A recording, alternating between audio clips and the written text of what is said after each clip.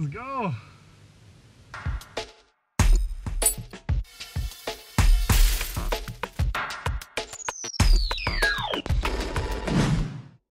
If there's one thing that Proton is famed for, is the ride and handling of its cars. Short of the tune by Lotus Badge, you can still absolutely count on the ride and handling of a Proton car.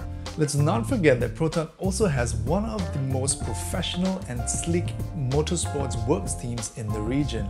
So yes, Proton does know a little bit about how to make a car ride and handle well. So let's talk about one of the most anticipated cars in Malaysia of 2020 the Proton X50.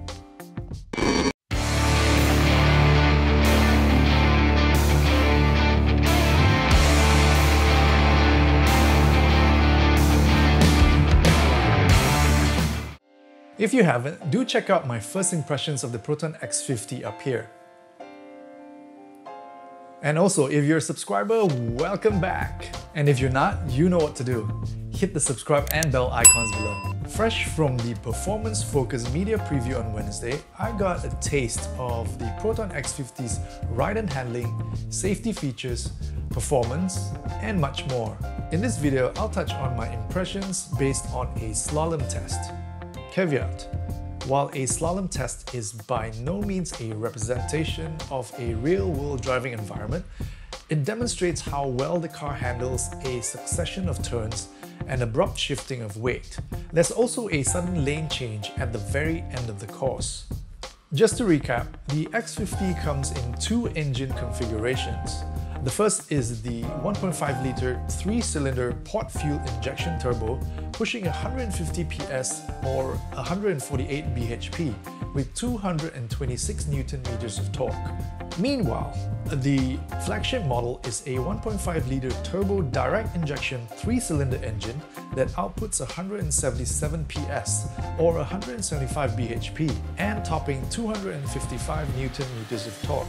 Power is delivered to the front wheels via a 7-speed DCT of similar spec to the one on the X70 but optimized for the 3-cylinder power plants. For the slalom test, we're tasked to accelerate off the line and keep the speed at around 50 kmh while we steer the course. Here was my run.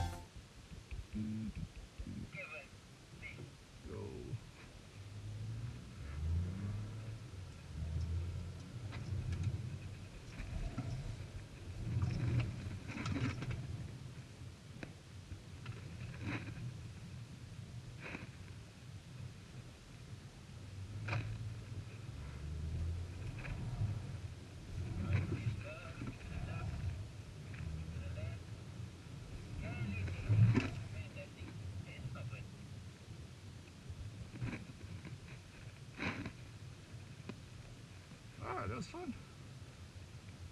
Super, super planted car.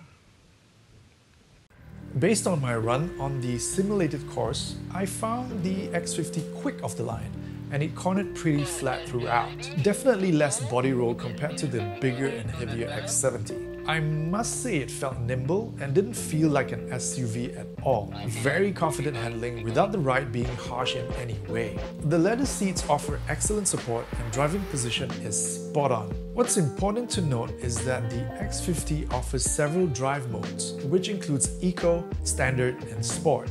In Sport mode, the steering is heavier and the suspension will feel stiffer. This is achieved through the car's Electronic Stability Program or ESP.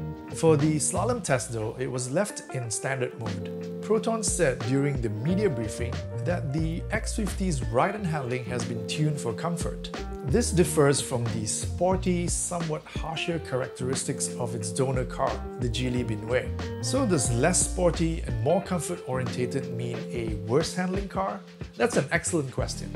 The short answer no, a stiff suspension does not necessarily equate to a good suspension. In layman terms, a good suspension system absorbs bumps and ensures tires have optimum contact on the road at all times, keeping the car not only predictable and stable, but also meeting NVH requirements. This helps the driver to be in control as well as keeping the passengers comfortable and safe. For the X50, Proton made adjustments to the front anti-roll bar, revised spring rates, dampers, and bushes to optimize the car for Malaysian roads. It also gets a new electric power steering system with four steering modes.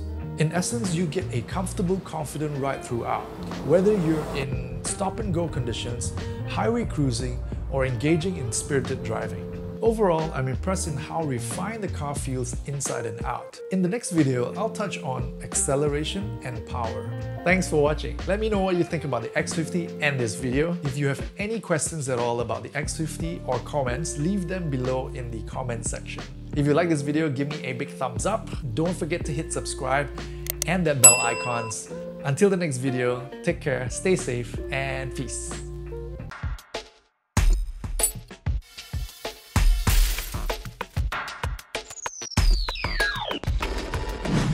Launch the car, but ideally you keep it at constant speed. If you're using your cameras, now's the time to hold on to it. Right, the parking brake, as usual, is now a switch. Uh, just roll off. Roll off, get it to 50. The first one is the right, and the left, right. Okay.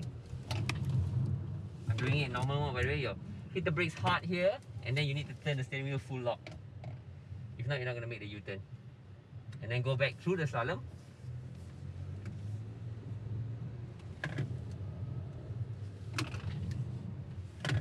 Okay, here's a bit where it gets a bit tricky. Maintain at 50 and a quick lane change. And brake. Okay.